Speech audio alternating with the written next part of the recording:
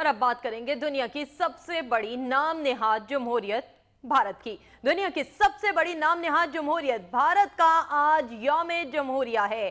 کشمیری بھارت کا یوم جمہوریہ یوم سیاہ کے طور پر منا رہے ہیں، جبکہ سری نگر سے جموں تک بھارتی فوجی دستے تعینات کر دیے گئے ہیں۔ کشمیری رہنما گھروں میں نظر بند کر دیے گئے ہیں۔ ظلم و ستم کا سلسلہ ایک بار پھر سے زور پکڑتا دکھائی دے رہا ہے، لیکن کشمیریوں کی آواز دبنے کا نام نہیں لے رہی۔ دنیا کی سب سے بڑی نام نہاد جمہوریت کا یوم جمہوریہ آج منایا جا رہا ہے اور وہ بھی نہتے کشمیریوں پر ظلم کر کے۔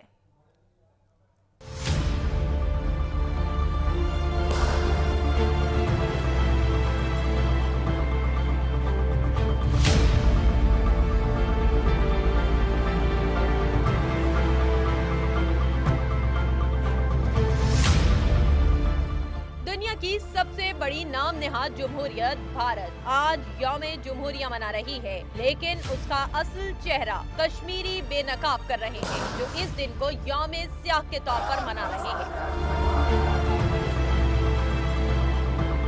حریت رہنماؤں کی اپیل پر مقبوضہ وادی میں مکمل ہڑتال ہے۔ کاروبار بھی بند ہے عوام کو حق کے خود ارادیت دینے کے بجائے ان کا حق کچلنے والا بھارت۔ کشمیریوں کے رد عمل سے بھی خوف زدہ ہے۔ اسی لیے سفاق بھارتی فوج نے پوری وادی کو چھاونی میں تبدیل کر ڈالا۔ اور سری نگر سے جموں و کشمیر تک بھارتی فوج دندناتے پھر رہے ہیں۔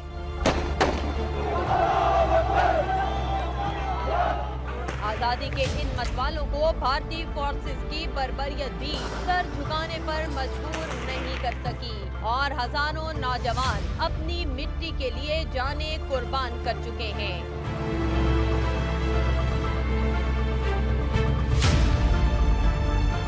غاصب فوج نے کشمیری رہنماؤں کو بھی گھروں میں نظر بند کر دیا ہے۔ دوسری طرف پاکستان کی حکومت اور عوام کشمیریوں کی مالی سفارتی اور اخلاقی حمایت کے لیے پرعزم ہیں، جبکہ لوگوں کو عملاً گھروں میں نظر بند رکھا گیا ہے۔ مختلف اضلاع میں نہتے کشمیریوں اور سفاق بھارتیوں کے درمیان جڑپیں بھی ہوئیں۔